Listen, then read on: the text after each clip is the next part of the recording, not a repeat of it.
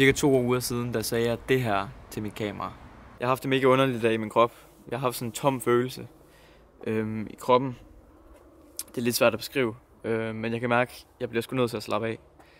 Det øh, tager lige lidt hensyn til min krop, og det håber jeg, I kan forstå øh, derude. I dag i skolen, der øh, havde jeg svært ved at trække vejret. Jeg følte ikke, jeg kunne få luft, og jeg følte ikke, jeg kunne få luften ordentligt ned i mine lunger. Jeg sad sammen med alle andre tredjeårselever. Vi var til et fælles møde, hvor vi skulle høre om vores øh, studieretningsopgave. Der sad jeg og prøvede på at se, om jeg kunne trække vejret ordentligt, men blev simpelthen nødt til at gå ud af, den her, af det her fællesmøde. Så jeg gik ud på gangen og stod der lidt, prøvede at se, om jeg kunne få vejret lidt bedre, hvor at efter at en af mine veninder fra klassen gik ud og hjalp mig og fik mig udenfor, og min lærer kom og sådan nogle ting. Så blev jeg kørt hjem af min veninde. Jeg blev først kørt til lægen. Jeg kommer til lægen for at konstatere, at jeg fejler ikke noget. Jeg fejler ikke noget med lungerne, jeg fejler ikke noget med hjertet. Jeg, jeg er helt okay indeni.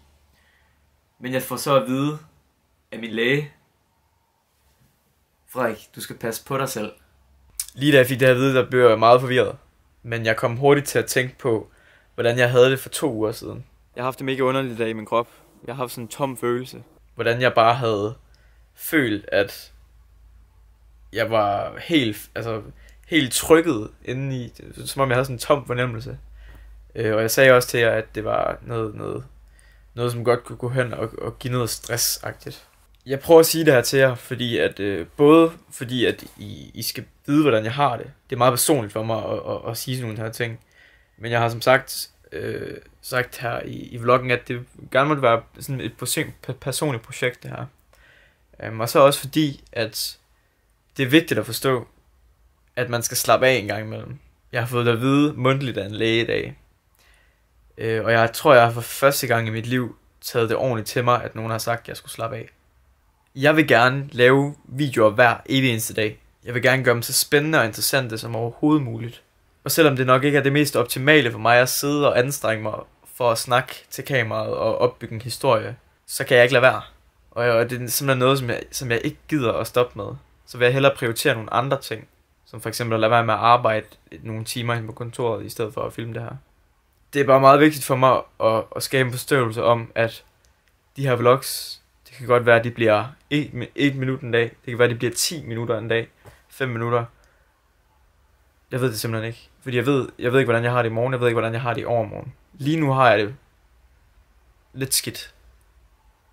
Nej, jeg har det faktisk elendigt. Fordi at... Ah, jeg, jeg har kløet for hårdt på. Ikke kun med det her projekt, men med skole, med virksomhed og venner og alle mulige ting. Jeg har kløet alt for hårdt på med det. Så derfor så er det op til mig selv at lige at finde ud af, hvad helvede gør jeg? For at jeg kan få, få, få min hverdag til at hænge sammen, sådan at jeg altså, stadig kan fortsætte med at lave alle de ting, jeg elsker at lave. For eksempel videoer, virksomhed, venner, skole. Det er alle, alle, sådan, alle sammen nogle ting, jeg, jeg virkelig godt kan lide at lave. Og gøre det med glæde. Men, men for fanden, jeg har fået at vide, at jeg skal slappe af. Please, have forståelse for det. Jeg vil gerne lave videoer for jer. Jeg vil gerne lave videoer for mig selv.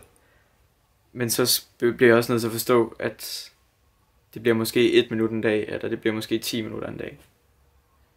Det betyder altså også, at jeg slutter videoen af for i dag, fordi jeg skal slappe af. Og lige at bruge lidt tid for mig selv. Vi ses i morgen. Hej hej.